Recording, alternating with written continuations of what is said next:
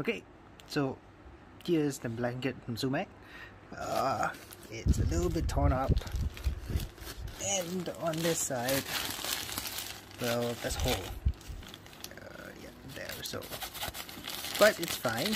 We're gonna just get right into it from here since well, it's open. It's a bag. Actually, I should just zoom up, right? Okay, there we go.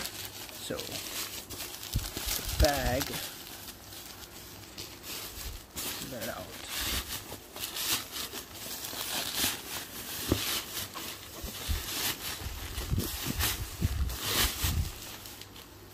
Okay. Claims to be a Hilton. Let's put the description. Let's get it open.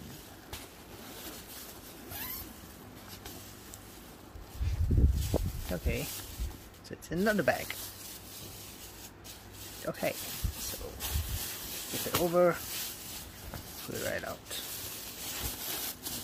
And okay, we have it tight together. We're just gonna rip that apart. Oh. Okay, doesn't seem to be. I'm gonna grab a scissors. So, scissors go. There we go. And uh, okay. So far I've not touched it. Let's drop it out the bag.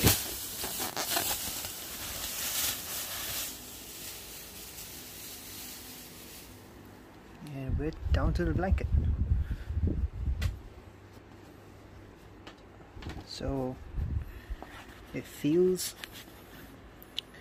kind of like satin. Mm, I won't. Yeah, it's definitely not uh, cotton.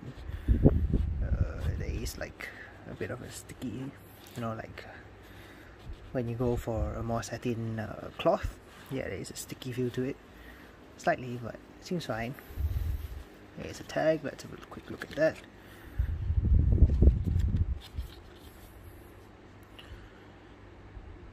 claims to be 100% cotton. But I would beg to differ. Yeah. Considering that well even the punch outs are not done properly uh, we pretty much know this is not real. Yeah looking at the logo yeah okay but just looking at the seams you know looking at the threads it looks fine by me. Uh, I think something I did not consider was well probably I should get a cover for this.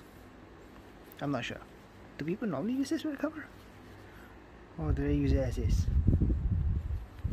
So you have the seam and if you look at it it ends here and this is so I guess the seam is not really there to keep the material from moving between the boxes.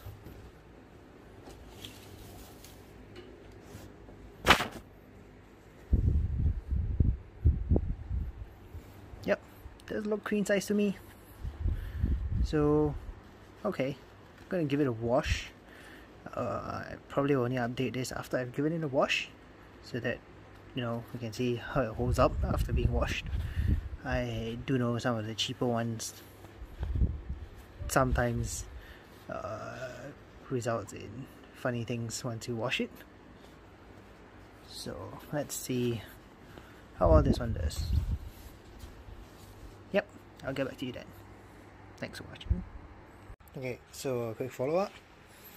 Washed it, it came up very well, so no issues. With it for a couple of days now, and yeah, it's good so definitely worth buying yep hope this has helped you thank you for watching and good day